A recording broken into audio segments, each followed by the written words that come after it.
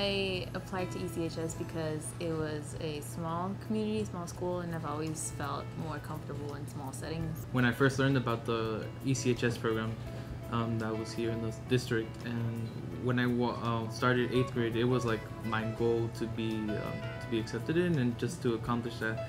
For me, I think uh, one of the most pivotal teachers in my career was uh, Miss Jamie Foster from Farmers Branch Elementary. For me, it's actually I think it's a more recent teacher. Um, for me, it would be Mr. Anderson from Vivian Field Middle School.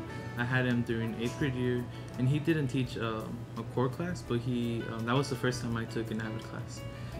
She she saw that I was new to the district and I didn't really know what was going on, so she took it upon herself to educate me not only in what she was supposed to, but things that um, I needed help with.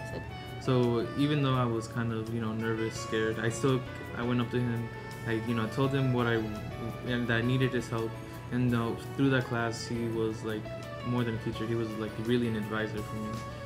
Well, I'd like to become someone a little more vocal and active in the community, just because I see how much of an impact just one voice can make on changing things. So like a person who is creating change through like innovation, but I want to have I want to be an advocate. I, I, I felt like I've always ha- always have been, and to me it's not about like being a politician, but it's more like you know as you were talking, you mentioned with Paola, uh, speaking up for those who don't you know have resources.